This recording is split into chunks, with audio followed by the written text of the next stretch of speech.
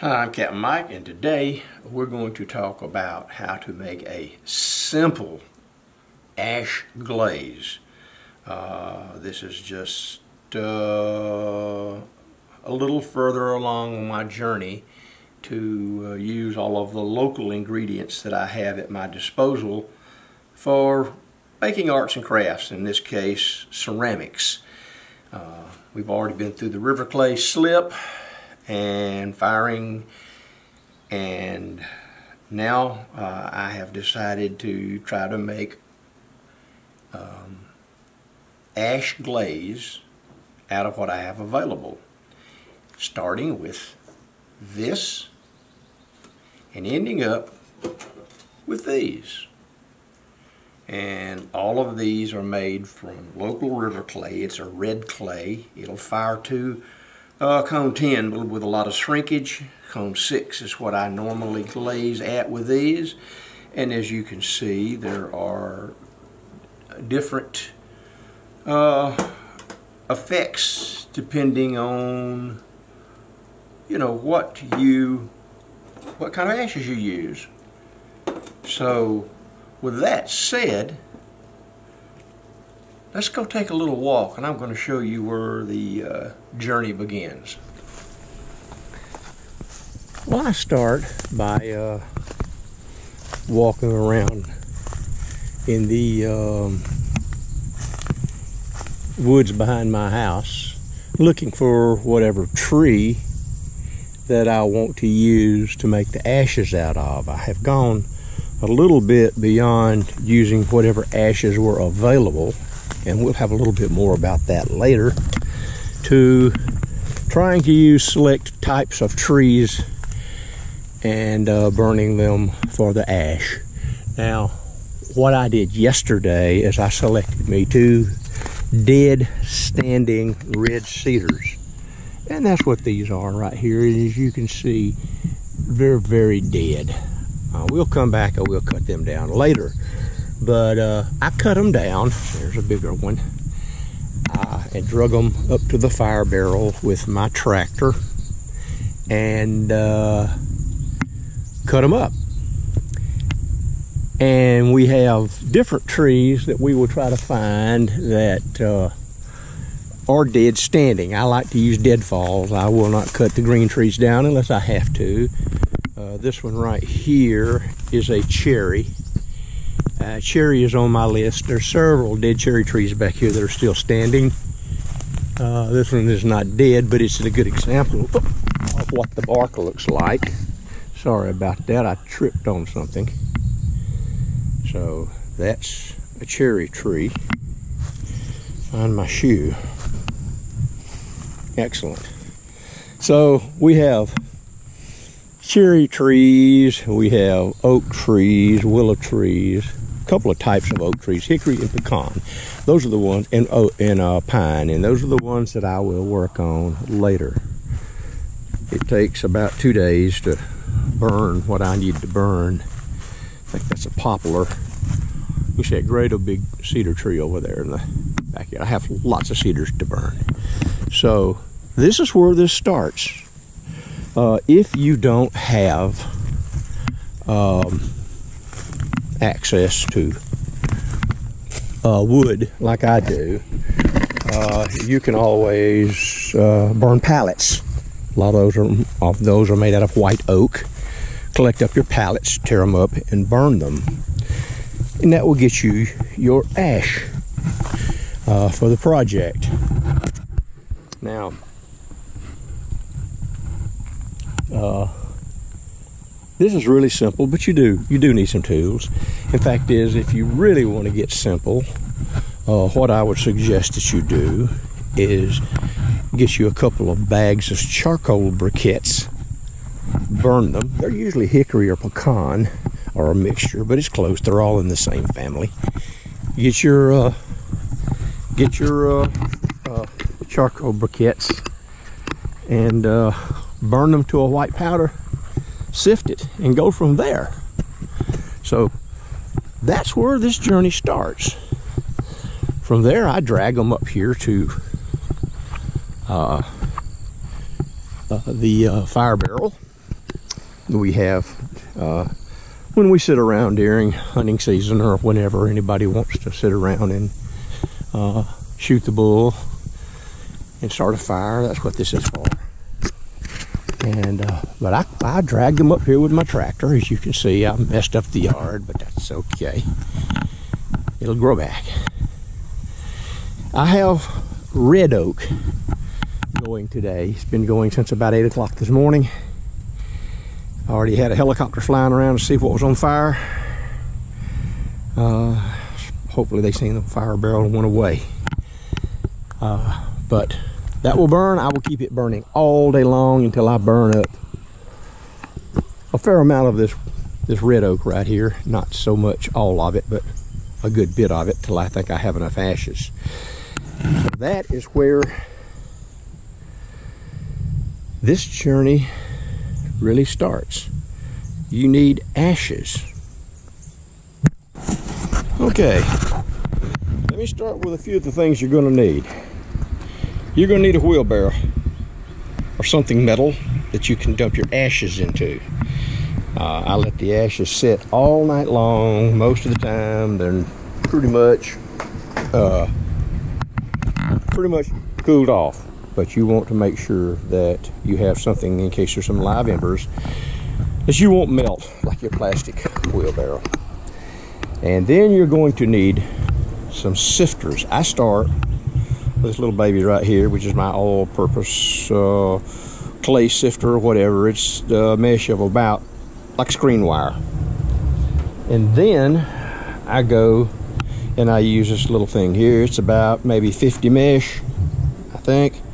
I made it. Uh, it works great for the powder that I need. Now, if you feel that you need to go to finer meshes, you can buy uh, a set of these things. I just happen to have two. They're part of a set. One them supposed to be, one of them is a hundred, and one of them is uh, uh, maybe, maybe 70. I don't know. They wouldn't tell you. They called it something else. They didn't call it by the mesh. But you can buy a whole set of these things from quarter inch coarse all the way up to a hundred mesh. So if you want, you know, that's a bad, it's not a bad investment. If you're going to be sifting a lot of things like glazes and clays and and gold and, and stuff. But they also work really good on your ashes. Now, they're plastic, so remember what I said about uh, making sure they're cool. So that's what you'll need. You'll sift all of those big chunks out, throw them away. I throw them in my driveway, around my shop. And uh, pretty much that's it. Let's go inside and I'm going to show you what you end up with, okay? Okay, y'all have seen uh, what we started with, what we ended with. You've taken a little walk in the woods with me this morning and you've looked at the uh, fire barrel and how I actually burn my wood. Explain to you how I sift it. now, when I sift it, I end up, of course, with that really coarse charcoal that I throwed on the, uh, the road out there. You saw that. But I end up with this. This is the sifted material through what I assume to be about a 50 mesh. Uh, have not tried this through 100 yet or 70, but I will next time. And you end up with this right here, which is very coarse, and it's, you can save it and try it, experiment if you want to. Doesn't hurt anything, I throw it away. But this is what we want right here. This is the ash. Now, I don't know a lot of technical stuff about ash glazes, except what you what goes into it and kind of what happens, but it doesn't get any simpler than this. Ash. Any kind of ash you want to use. It can be wheat straw, it can be bamboo, it can be oak, pine, a mixture. Any kind of any kind that you want. It's going to give you a different effect, the experts say. But uh, I don't know what. I'm, that's what I'm doing now. Now, you're going to need some clay to go with this. I'm, this recipe that I'm using is an experimental one. Uh, I'm just going 50-50 and then I will adjust the uh, recipe for more ash and less clay as it progresses. Clay, whatever you have. This is Kentucky Ball. It's white. It'll give you a lighter finish, kind of like this. This is this is uh, red oak, and uh, um, um, some 04, uh, just 04 clay that I had. It was wet. I mean, it was just the kind that you make things out of. I didn't even dry it. I just kind of measured it out 50-50 and did it. This little rascal right here was the first glaze that I did, and it was just come right out of the ashes out of the fire barrel. Boys been burning all kinds of things in there, and there's aluminum cans, and I had did some pit firing. They were salt and copper and aluminum foil and every kind of ash you can think of. And it this was fired to cone 10 too, and so it it's a little darker. Now back to the clays, you have ball clay, which is white. You have this, uh, I think it's Kentucky red clay. If you want a, uh, a darker uh, glaze. Uh, this is just some 04 slip. Just standard low fire slip. Bunch of scrap. And you can use it. It fires white. And this is my river clay. Which, by the way, went into this. Was all that messy ashes I was telling you about in river clay. Very first thing that I did you just mill it up any way that you want to mill it up. Uh, if you put it in with all this stuff and you start to stir it, let it sit, it'll eventually turn to mush anyway. It'll just take a little longer. That is all you need. You need water. You need, it doesn't have to be still, it can be out of your spigot. Um, water, clay, and ash. Water, clay, and ash. That's all the materials that you are going to need. In this case, just 50-50. There's 8.3 ounces of white ball clay.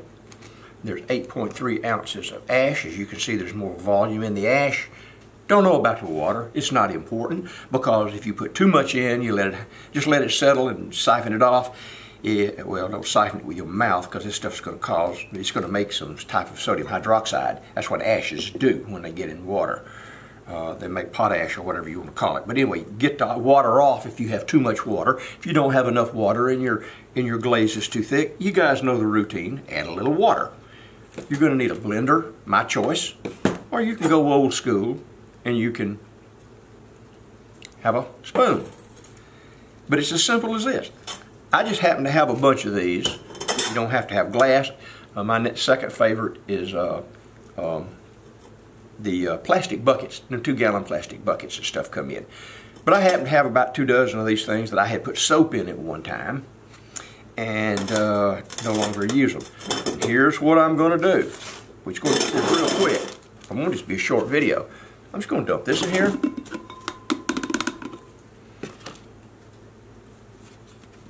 I'm going to dump my ashes in there.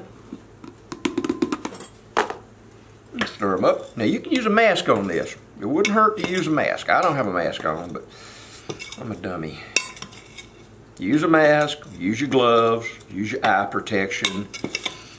I wear glasses, so I always have eye protection. But you see, it's causing a little dust down there, so yeah, use your mask. Please use your mask. I'm so old, it ain't gonna kill me tonight, so no, no, no time soon uh, stir it up. We won't stir it up just horrible, horrible. Now that's not much water. I have some extra water over here. Pour the water in.